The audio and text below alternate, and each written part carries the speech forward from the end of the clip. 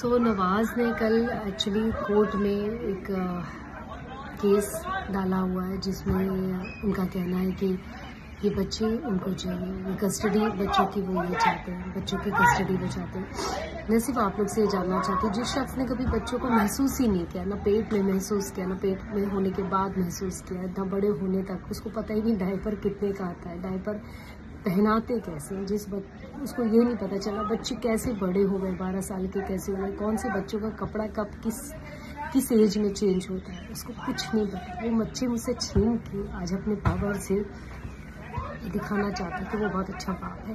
अच्छा बाप नहीं, बुजदिल बाप बुजदिल बाप है कि एक माँ से उसका बच्चा छीन है।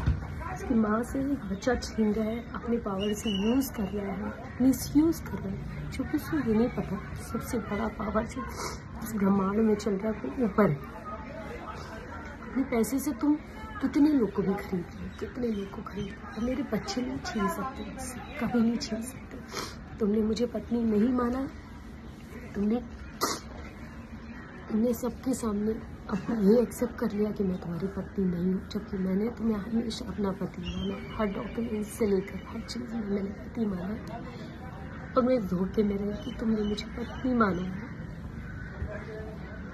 इस चीज़ को मैं कभी बर्दाश्त नहीं कर पाऊँगी।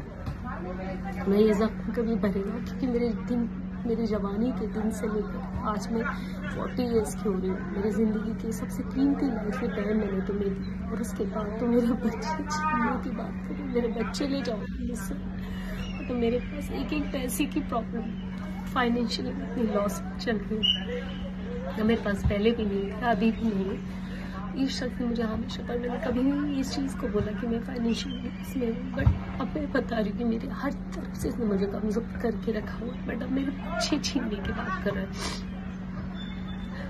मुझे लगता है कि यार ये आदमी इतना गिर चुका है अपने पावर के और अपनी फ़िल्म के चक्कर में ना बौखला गया इसको पता ही नहीं कि माँ से बच्चा छीन रहा है, जिसने अपने बच्चों को सीने आज भी मेरे दोनों यहाँ चिपक के सोते मेरे गले में तो ये मुझसे बच्चे छीनेगा। मुझसे बच्चे छीन के कहा रखेगा मेरे बच्चे क्या रह लेंगे इसके साथ? एक बच्चे को तो पता भी नहीं कि बाप क्या होता है उसने प्यार एहसास ही नहीं दिया, कभी अपने बेटे को कभी गले से नहीं लगाया। सिर्फ़ एक ही बच्ची दिखती है इसको। एक ही बच्ची, वो भी वो भी बड़े होने के बाद, बड़े होने के बाद। उसके पहले तो कभी नहीं दिखते थे तो।